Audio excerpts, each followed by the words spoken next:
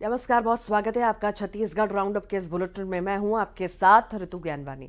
छत्तीसगढ़ से राज्यसभा उम्मीदवार की घोषणा कर दी गई है। राजा देवेंद्र प्रताप सिंह बीजेपी उम्मीदवार होंगे। महाराजा चक्रधर सिंह के प्रपोत्र हैं।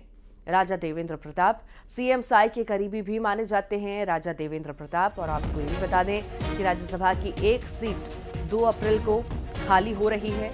मौजूदा राज्यसभा सांसद सरोज पांडे का टिकट काटा गया है।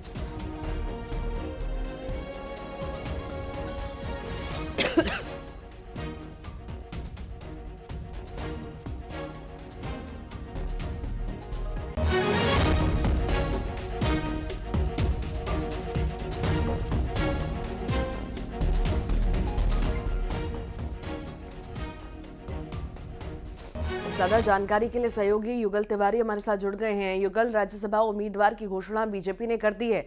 ज़्यादा जानकारी मौजूदा जो हैं उनका टिकट काट दिया गया है। बड़ा फैसला बड़ा फेरबदल क्यों आखिर? ये बिल्कुल। देखिए सरोज पांडे का कार्यकाल खत्म होने के बाद अब यहाँ की जो सीटें खाली थी उसके लिए रायगढ़ राज परिवार के अ, जो देवेंद्र प्रताप सिंह हैं उसे कैंडिडेट उम्मीदवार बनाया गया है। और रायगढ़ राजघराने से ताल्लुकात रखते हैं।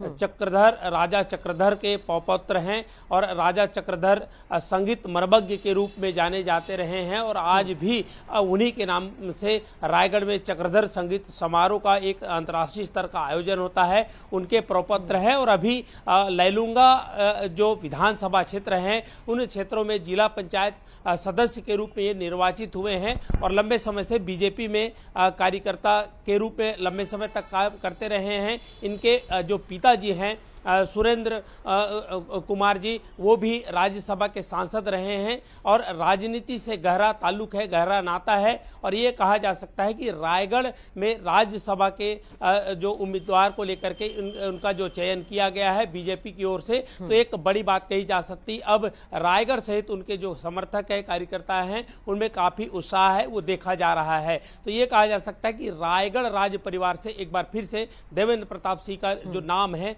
वो राज्यसभा सांसद के लिए जो नॉमिनेट किया गया है। जी।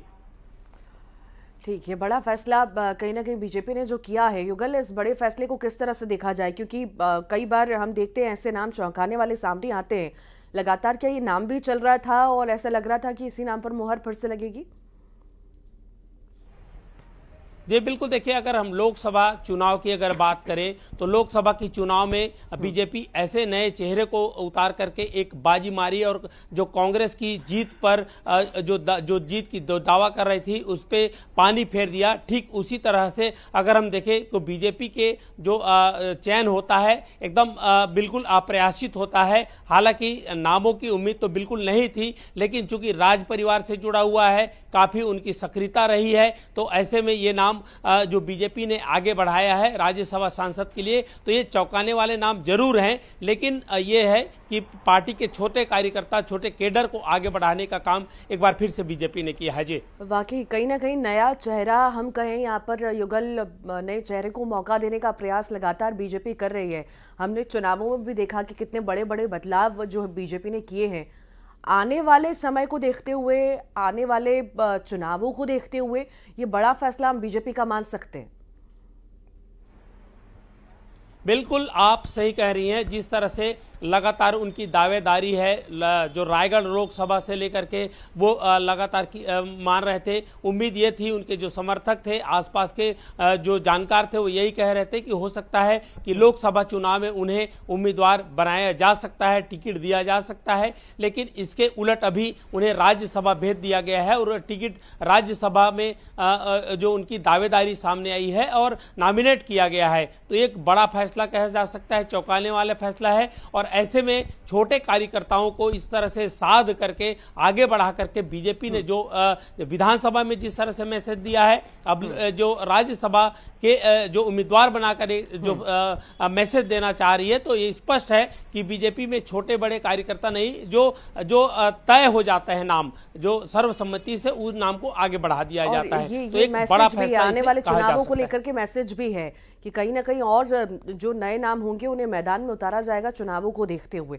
हालाँकि देखने वाली बात होगी कि कितना लंबा बदलाव यहाँ पर और हमें बीजेपी में देखने को मिलता है, छत्तीसगढ़ बीजेपी में। फ़िलहाल बहुत शुक्रिया। युगल।